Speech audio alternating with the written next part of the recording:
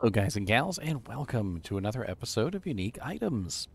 Uh, today, we're going to be looking at the Fire Lizard's Talons. Now, the Fire Lizard's Talons is definitely a really odd one. Um, I really don't uh, know exactly what to tell you guys about this one, uh, which is why we're going to go over it together and we're going to talk about it. And maybe um, after I spew my guts into the camera, I'll have uh, an answer for you.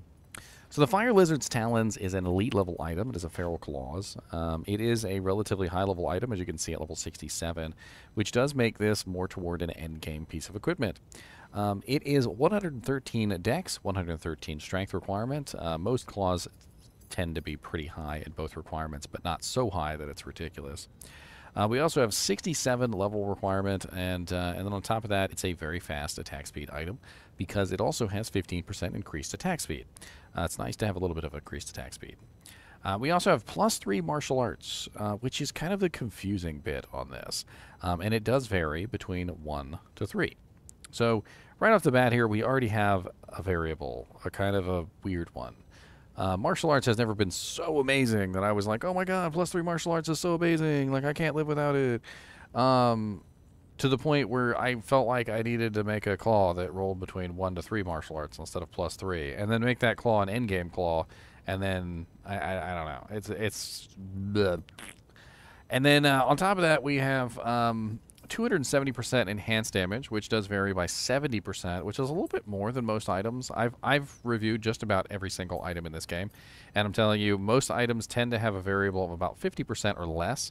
So having a variable of 70% seems like a little bit of a slap in the face to this item. Um, we also have a huge amount of fire damage of 236 to 480, which is actually a lot of fire damage. Um, and if you were a uh, fire damage character. Maybe you were running things like Flickering Flame, or you had negative fire res on a shield, or, or maybe a J-mod armor with fire facets in it or something. Um, I could see the fire damage actually being useful, but of course, fire damage, as we all know, is one of the most immune things, or, or, or most common immunities in Diablo 2 Resurrected. Um, as you play through, it's just tons and tons and tons of fire immunes, and you need another element usually to go along with fire. Is fire good to use? Yes, it is. And for those monsters that you find that are not immune to fire, it actually works very, very well. But there's just so many fire immunes. Um, we also have a plus two to Wake of Inferno, which um, until 2.4 was a joke. Uh, Wake of Inferno, it was probably one of the worst skills I think the assassin had ever had and uh, and quite honestly, um, the fact that they made it a variable of plus one to plus two is actually kind of insulting. It's like here's this skill that's garbage, and we're not even gonna give you max skills on it most of the time. uh, and then on top of that, they also had Wake of Fire. So plus one to plus two, it varies as well. Um, Wake of Fire is another one. Wake of Fire is actually kind of good at low levels, and uh, and if you play a low level assassin, you will know what I'm talking about because low level trap assassins can actually own pretty well with Wake of Fire. Uh, I actually loved using Wake of Fire on my low level assassin. Um, it also has a pretty massive 70% fire resistance on here, which is kind of meh. Um, I'm always kind of torn when I see a singular massive resistance and it's not like more than what a shield would give.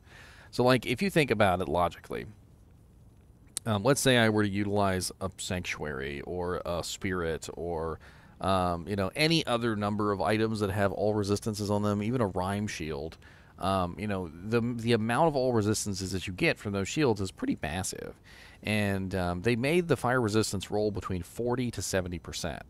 Now 70 is more on the side where it actually kind of makes sense because you know if you're giving up all resistances, you would expect that the resistance you get would be more than the all resistances that you would normally give up. Um, let's take something like the Jade Talon. So the Jade Talon has 50 all resistances, right?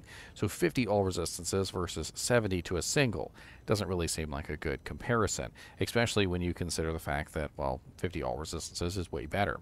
The only situation that I can see maybe where this might be interesting is if you utilize this with a spirit shield, which is missing fire resistance, um, it would completely, you know, cover up that missing fire resistance. Um, the other issues here are that the fire lizard's talons seem to be at cross purposes, um, and uh, and let's let's talk about that, shall we? So we have here a claw which has pretty decent damage, um, but it also has martial arts skills and trap skills combined, which is usually not something that you do. Um, with the exception of Death Sentry, because it has Corpse Explosion, um, you don't generally mix purposes like this. Like, you don't generally build a, a trap assassin that runs in attacking with his claw, and you don't generally build a martial arts assassin that utilizes traps, and it, and it really has to do with the synergy um, constraints. So, like, for instance, if I was going to build a uh, trap assassin, um, I would have to build, for instance, if I was doing fire, I would have to build Fire Blast, so 20 points into Fire Blast. I would have to build Wake of Fire, which is 20 points into Wake of Fire, so that's 40.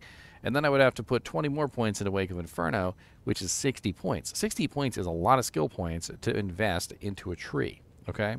Um, at which point, then I'm also a martial arts sin, so what am I doing over here that I can do with sub 60 points. So I, I, I, no longer have 60 of my skill points so that I can beef up my fire traps to their maximum, right? So eh, what point do I look at this and go, okay, well, I got 100 and like 10 points that I can spend, right? And 60 of those have just been eaten by the fire tree. So I've got 50 skill points left. I'm going to want things like Claw Mastery, uh, Weapon Block, one of these, Burst of Speed or Fade. I'm going to want probably one point into Venom, at which point I probably only have like 30 points left to spend in the martial arts tree, and it just doesn't make a lot of sense to have a trap slash martial artist that's utilizing the fire tree, which requires a pretty hefty investment to do so. Um, on top of that, even if I were to say, like, let's say I just wanted to be like a fire assassin, right? So I build Fist of Fire. Um, I build, you know, I build Fist of Fire. I build like a Dragon Tail, which is a fire damage ability. Um, I build the fire traps, and everything that I have is fire, right? So I'm building fire, fire, fire, more fire, and more fire. I even build Phoenix Strike to go along with it because it beefs up Fist of Fire, and Fist of Fire beefs up Phoenix Strike uh, for the fire effects only, by the way. So I have tons and tons of fire damage, right? And I build negative fire resistance, and I get maybe like, um, I don't know, like uh, my other claw, I could do like a plague claw for lower resistance, or I could do an infinity on a merc or something like that. None of the negative fire resistance that I would have as a fire martial arts assassin to beef up my fire damage would affect my fire traps. Uh, traps are minions, and they don't really get affected by negative fire resistance. Um, they do get affected by infinity, the conviction aura, and they do get affected by lower resistance, but I would be not taking advantage of the massive amount of negative enemy fire resistance that I would have on equipment to make like a fire assassin, like a melee assassin actually work, which is kind of sad. In other words, it just doesn't really make a whole lot of sense to have a claw that does melee and traps at the same time. It's it's weird. Um, I feel like they would have been better off taking this plus to skills, the Wake of Inferno and the Wake of Fire, take that off of there, um, and instead put on plus two Fist and plus two Phoenix. Um, that would actually make it useful, and, and I think I might actually utilize that on like a um, a fire-based um, martial arts set because at that point I'm looking at plus three to martial and plus two to Phoenix and plus two to Fist, so I got plus five to the fire skills on this particular character, and I could potentially use two of them, which would give me plus, uh, 10 to, you know, my fist and plus 10 to my Phoenix Strike. Um, and, and, it could be a very interesting item um, in that regard. But uh, because it has the traps instead of the fire martial arts skills, it just seems cross-purposed, and it doesn't really seem like it has a whole lot of use. Um, I do feel like that fire damage could probably come in handy for kicks, um, just simply because it's going to apply on every single kick, and some of the kicks do pretty nice damage. Um, the ethereal version also we have here, which I forgot to talk about, is the 122 damage to 292 claw. Uh, 103 dex, 103 strength, 67 level requirement. Um, and as you can see here, the damage goes up pretty significantly with the ethereal version, but you would have to Zod this if you wanted to actually utilize it, um, you know, for a martial arts assassin. Um, I do believe you could uh, still get good use out of this on the kicks in, because I think some of the kicks don't burn durability. But um, if you actually wanted to swing it and slash at people with it, it's going to be a different story. Um, another issue with the Fire Lizard's talons is its stiff opposition. I mean, you've got a lot of different claws that you could potentially use, including the the Natalia's um, uh, claw from the Nats set, uh, which is also very good. And um, and there's just a lot of competition. You've got a very nice Jade Talon Sword here, which gives two and two. Uh, you've got a very nice Bartuc's here, which gives two and one, which is plus three. So it also gives plus three to the uh, martial arts tree, and um, honestly gives a lot better effects than the Fire Lizard's talent. Um, I'm not really sure what to make about the Fire Lizard's talent. I feel like if it got a little bit of a tweaks, if the Wake of Inferno and Wake of Fire got changed to the martial arts skills, or even vice versa, if the plus three martial arts got changed to plus three traps, this could find itself uh, some usefulness in either the trap tree or the martial arts tree. But the issue is, is that because it's kind of trying to be both things at the same time, I don't really know if it really has much use uh, past some niche builds, and uh, and even then, I, good luck finding it in good shape because it can roll plus one martial, plus one wake, and plus one uh, wake of inferno, wake of fire. It it can roll really terribly. The the enhanced damage can go all the way as low as 200%. The um, martial skills can roll as low as one. The wake of inferno can roll as low as one. The wake of fire can roll as low as one, and the fire resistance can roll as low as 40%.